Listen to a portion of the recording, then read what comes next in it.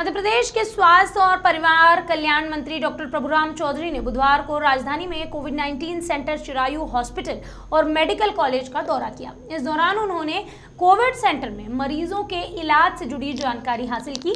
साथ ही साथ उन्होंने इलाज करा रहे संक्रमितों से वीडियो कॉल पर बातचीत भी की और उनके स्वास्थ्य का हालचाल लिया। साथ ही साथ डॉक्टर चौधरी के इस दौरे पर स्वास्थ्य आयुक्त डॉक्टर संजय गोयल और विभाग के अन्य वरिष्ठ अधिकारी मौजूद रहे। चिरायु हॉस्पिटल के डायरेक्टर डॉक्टर अजय गोयनका ने यहाँ इलाज के बाद डिस्चार्ज हुए मरीजों की जानकारी भी स्वास्थ्य मंत्री को दी। मंत्री चौधरी ने सेंटर पर कोरोना मरीजों के बेहतर इलाज के लिए हर संभव मदद देने की बात कही है। इससे पहले डॉक्टर चौधरी ने मंगलवार को विभाग की पहली समीक्षा बैठक में कोरोना और अन्य बीमारियों से निपटने के लिए जिला अस्पतालों में स्वास्थ्य सुविधाएँ बेहतर करने के लिए ऑक्सीजन, आईसीयू और वेंटिलेटर के इंतज़ाम करने के लिए एक गाइडलाइन तय की थी। भोपाल से दीपक सिंह की रिपोर्ट।